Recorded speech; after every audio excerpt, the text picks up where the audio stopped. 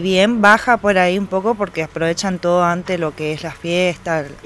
Eh, Reyes Mago por ahí es muy poco, pero eh, se llama la atención con buenos descuentos para que los que no pueden por ahí, viste, se pueda con un buen descuento.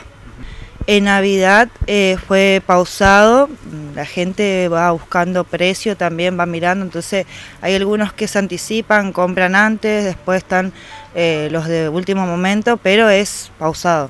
Los productos que por ahí los chicos lo, lo ven en la tele, eso es lo que quieren, eso es lo que más se vende siempre, pero es un poquito de todo.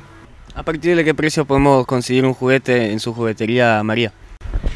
De 10 pesos para arriba, o sea, lo, tenés de todos los precios, de más, más barato a más caro. Y eh, hablando de juguetes, muñecos, animados, ¿a partir de qué precio conseguimos? Y tenés diferentes, tenés de 100, de 200, pues más caritos, eh, eso dependiendo la marca también a veces.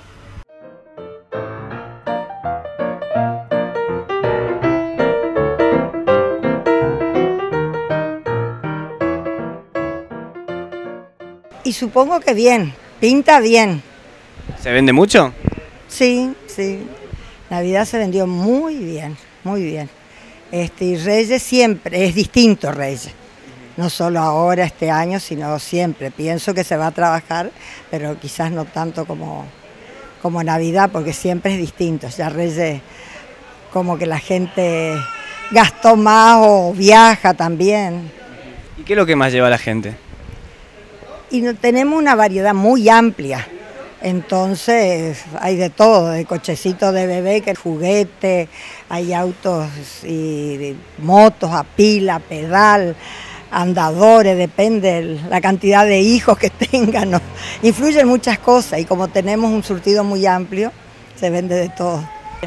Silvia, ¿y qué es lo que más se, anda vendiendo para Reyes Mago? Eh, en Navidad se vendió bastante bien los coches a batería y control remoto. Y ahora también se están vendiendo triciclos, como siempre, nosotros siempre vendemos triciclos. ¿Se duplicó la venta respecto a, Navidad? ¿Cómo fue? hasta ahora todavía no, no, llegamos los reyes, pero eh, sí se está vendiendo.